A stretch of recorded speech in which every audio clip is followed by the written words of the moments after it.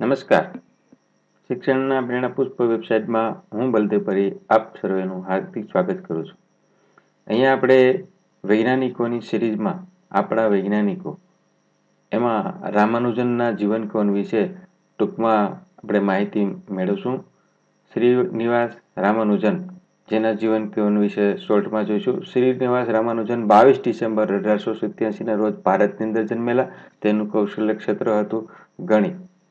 રામાનુજન એની પ્રખ્યાત શોધ હતી લેડો રામાનુજન, અવિચલ સંખ્યા મોક થીટા વિધેયો, રામાનુજન સાપેક્ષ અવિભાજ્ય, રામાનુજન સોલ્ડનર અચળ, રામાનુજન થીટા વિધેયો, રામાનુજનનો યોગ, રોન્સે રામાનુજન નિત્યસમો, રામાનુજનનો માસ્ટર પ્રમેય અને ટેક્સી કેબ લઘુ સંખ્યાઓ. શ્રીનિવાસ, રામાનુજન, એને સન્માન આપવામાં આવ્યું. બે હજાર બારની અંદર ગણિત વર્ષ તરીકે ઉજવાઈને જે આપણે પૂરા ભારતની અંદર આ ઉજવવામાં આવ્યું હતું.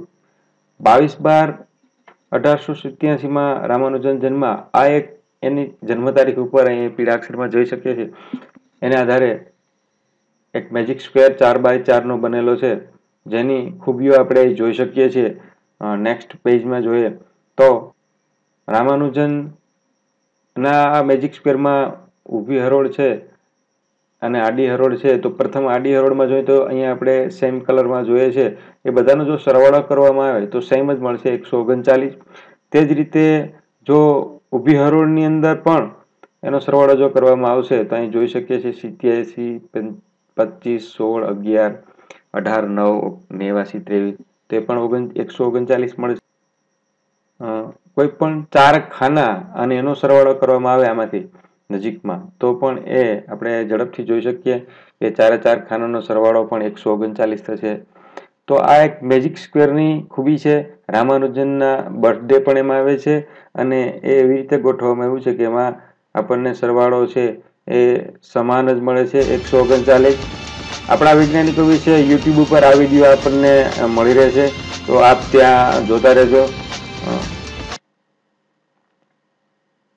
બે વિકરણોનો પણ સરવાળો જો કરવામાં આવે, તો આપણે અહીં જોઈ શકીએ પીળા અને લીલા કલરની અંદર વિકરણો આપણે બતાવ્યા છે, એનો પણ સરવાળો એકસો ઓગણચાલીસ થશે. આ ઉપરાંત રામાનુજને એક સૂત્ર પણ આપ્યું છે, અને સૂત્ર છે એની વિશેષતા એ છે કે એમાં બે નિયતાંકો છે પાય અને ઈ.